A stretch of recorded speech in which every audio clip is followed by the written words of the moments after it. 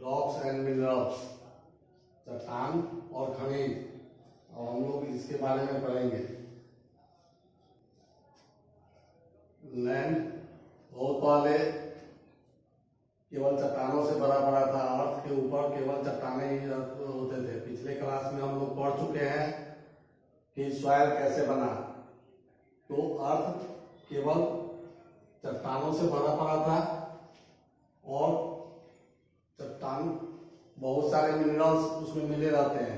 कुछ चट्टान ऐसे होते हैं जिसमें केवल एक ही मिनरल्स होते हैं और कुछ चट्टान जिनमें बहुत सारे मिनरल्स मिले रहते हैं। छह और उससे अधिक भी मिनरल्स मिले रहते हैं।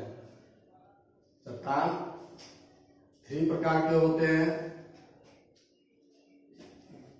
इग्नियस रॉक सेडिमेंट्री रॉक और मेटामोर्फिक रॉक इग्नियस रॉक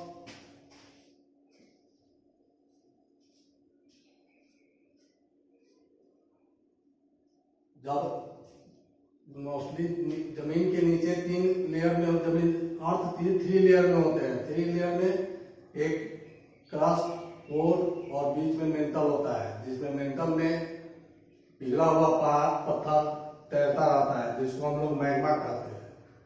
जब मैग्मा अर्थ को पुश करता है ऊपर की ओर, और वह जब बाहर निकलता है और मैग्मा और वही जब वोल्केनो के रूप में निकलता है बाहर और वह बाहर फैल जाता है चारों तरफ़, और वही पत्थर जब ठंडा होता है तो ठंडा होने के बाद जो बाहर की ओर आता है, और अंदर जो बीच में रह जाता है, वो ठंडा होने के बाद जो पहाड़ पत्थर बनता है, उसको इग्नियस रॉक कहते हैं।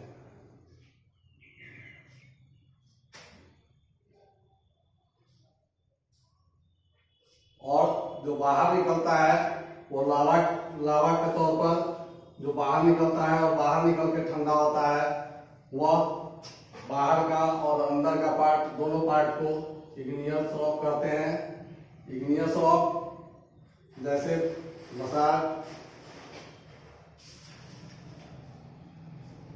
ग्रेनाइट और प्यूमिस प्यूमिस बेसाल्ट जो होता है जो नीचे होता है, सबसे नीचे वो बहुत कड़ा पत्थर होता है, बहुत हार्ड पत्थर होता है वो, और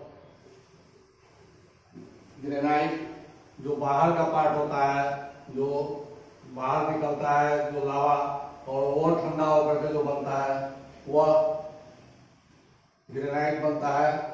और प्यूमिस जो लावा के साथ जो ऊपर झाग की तरह निकलता है नीचे से जो मेल्टेड रॉक जो झाग की तरह निकलता है, जिसमें गैस भी बना रहता है, और वह झावा टाइप का होता है, जो हल्का होता है, बहुत ही हल्का होता है, वो प्यूमिस होता है।